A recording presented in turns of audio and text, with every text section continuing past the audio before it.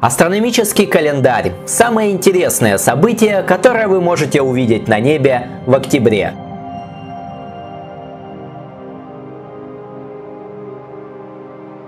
Второго октября Луна в фазе последней четверти.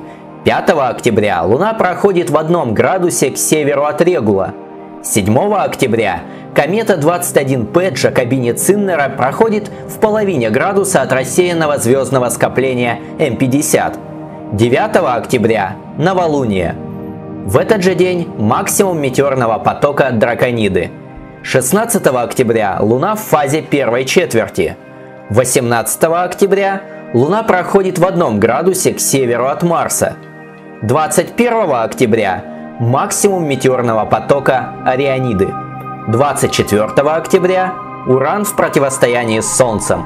В этот же день полнолуние. 27 октября Луна окажется в рассеянном скоплении Геады. 31 октября Луна в фазе последней четверти. Ясного неба и успешных наблюдений. Партнер проекта – магазин «Планетарий». Адрес сайта planetarium.ru.